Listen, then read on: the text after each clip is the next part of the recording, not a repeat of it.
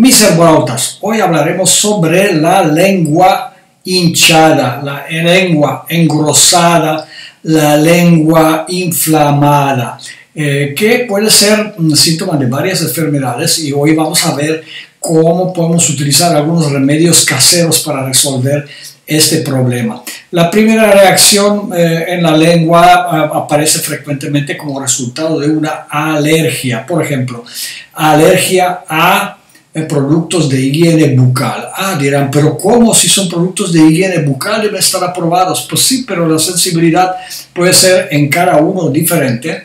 Y entonces hay productos de higiene bucal que pueden contener ciertas sustancias. Por ejemplo, pueden contener menta, mentol, carbón, parabenes, que son normalmente utilizados como eh, conservadores pero también anetol, que es extraído de anís estrella, y esos pueden causar desde aparición, por ejemplo, de aftas, hasta eh, problemas, digamos, de edema lingual, cuando la lengua se hincha tanto, pero tantísimo, que casi no cabe en la boca y se empiezan a imprimir los dientes en la lengua. Así es que cuando le dicen a la persona que saque la lengua, van a ver las marcas de los dientes eh, en la lengua porque prácticamente no cabe en la boca. Bueno, hay que tener mucho cuidado cuando ese edema es demasiado grande o cuando esté acompañado con dificultades de respirar. Entonces hay que buscar un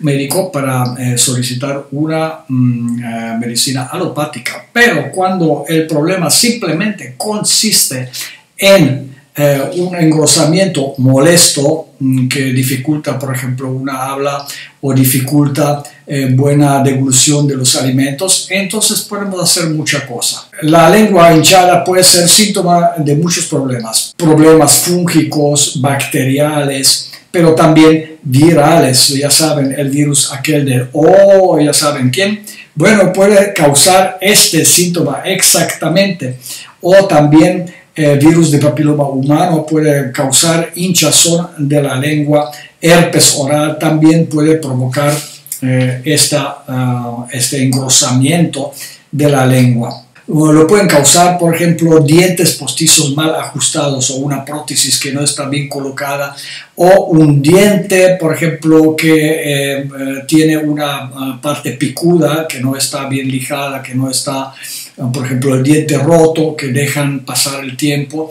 Entonces, este puede causar eh, engrosamiento de la lengua, pero también consumo de alcohol, consumo de tabaco, también eh, alguna comida caliente, picante o irritantes en general.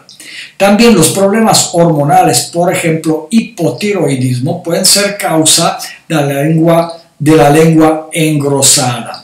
Y deficiencias de vitamina, típicamente vitamina B12 y B3, pueden ser causales también de este engrosamiento de la lengua. Así es que vemos que tenemos diferentes em, causas. No se puede decir que lengua engrosada es una enfermedad, porque es simplemente síntoma de varias enfermedades, de varias afecciones. Dependiendo de esa afección, entonces vamos a aplicar diferentes remedios naturales por ejemplo, quieren morder una salchicha y se eh, equivocan de, eh, de lugar y se dan una mordida en su propia lengüita. Eh, mi suegra, mi suegra tenía eh, tenía la lengua hinchada todo, el día y no se mordía, simplemente le tenía una lengua demasiado grande, incluso para ser una suegra era enorme.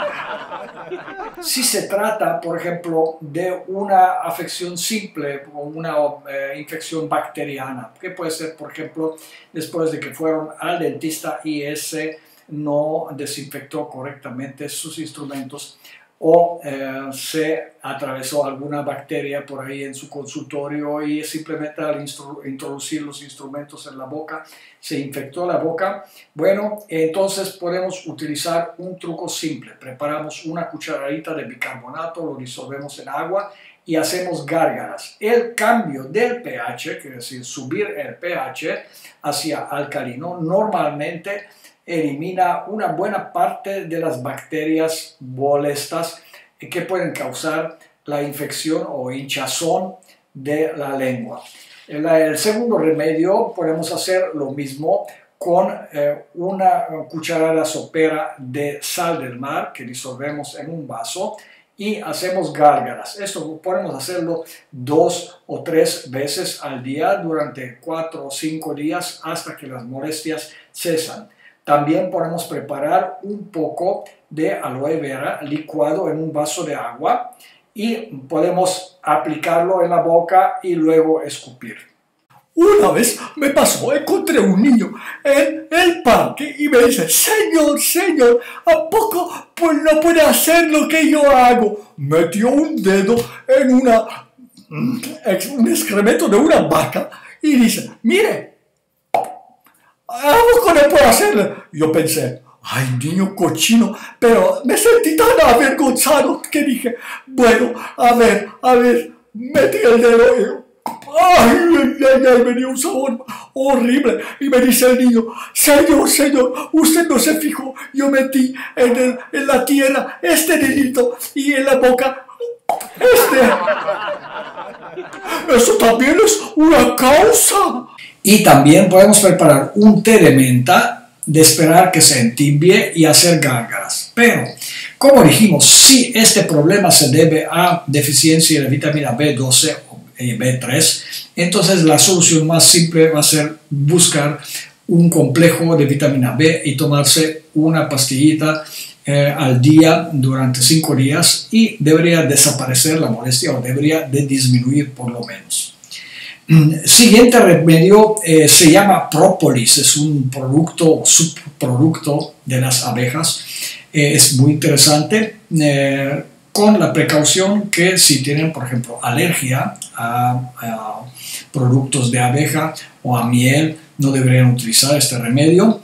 Simplemente se pone una pequeña cucharadita, una pizquita eh, del própolis, se, disuelve en agua y se hacen enjuagues tres veces al día en la boca. Pero si el problema está causado eh, a aquel virus famoso o ya saben quién, entonces no les va a ayudar ninguno de estos remedios, o más bien va a tener un efecto bastante breve. Y entonces vamos a necesitar un remedio que tenga la capacidad de remover la capa proteínica del virus. Y esa eh, hierba, este remedio se llama eh, Artemisia absinthium o ajenjo español. Preparamos un té de medio litro donde colocamos una cucharada sopera de este té seco. Lo hervimos rápidamente, unos tres minutos, basta. Ponemos una tapa en el recipiente y esperamos que se diluye bastante bien. Luego tomamos dos vasos diarios de este té. Es bastante amargo, preparen su alma pero resuelve rápidamente el problema y en tres o cuatro días ni se van a acordar que tenían la lengua hinchada. En caso de que es una reacción alérgica leve, entonces pueden preparar también un té de hojas de níspero. Eh, toman una hoja de níspero, la cortan en pedacitos, primero la limpian en agua y luego lo ponen en medio litro de agua, eh, hierven cortamente unos 3 minutos, dejan extraer y luego con este té hacen gárgaras tres veces al día. Así es que aquí tienen los remedios para la lengua hinchada. Y um, acuérdense, siempre hay que buscar cuál es el origen, no irse sobre eh, la lengua solamente, porque la lengua no es otra cosa que un bioindicador de lo que pasa en diferentes otros órganos o diferentes otras partes del cuerpo. Hablamos a la próxima. Los quiero. Chao.